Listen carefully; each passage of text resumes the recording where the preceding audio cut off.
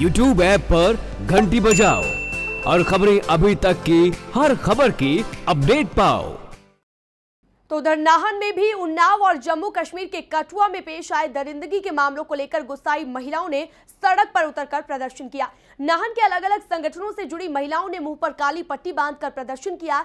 महिलाओं का कहना है कि महिलाएँ हिंसा की वारदातों का शिकार लगातार हो रही है, मगर सरकारें इसे लेकर गंभीर नहीं है। महिलाओं ने मांग की है कि कठुआ और उन्नाव में पेश की गई घटनाओं के आरोपियों को तुरंत फांसी की सजा दी जाए। महिलाओं ने हिमाचल प्रदेश में बढ़ते महिला अपराधों पर भी चिंता जताई है। महिलाओं का कहना है कि जब तक आरोपियों को कड़ी सजा नहीं दी जाएगी, तब तक वो इसी तरीके के मामले सामने आते रहेंगे और उनकी ओर से प्रदर्शन किया जाता रहेगा।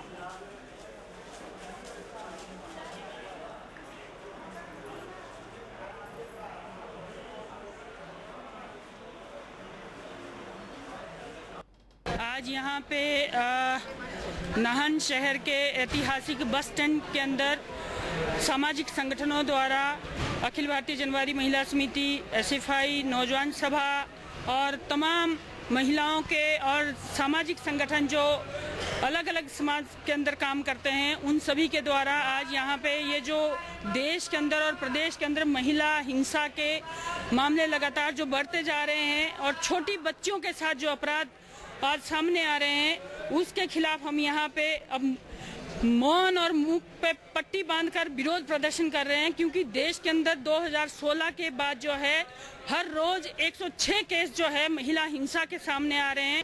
एक बच्ची से रेप हुआ, वो सबकी बच्ची है। तो हमको इन संवेदनशील मुद्दों पे सबको इकट्ठा होना चाहिए, हमेशा। अभी हाल ही में कितना दर्दनाक वाकया हुआ, कठुआ में। वो बच्ची बेशक मोहम्मदन थी, लेकिन बच्ची तो बच्ची थी ना, सबकी बच्चियाँ बराबर हैं। पर मैं ये बताना चाहूँगी कि इसको पॉलिटिसाइज नहीं करना चाहिए और इसको आपस में हिंदू और मुसलमान एकता को ख़त्म करने के लिए वो षडयंत्र नहीं रचना चाहिए।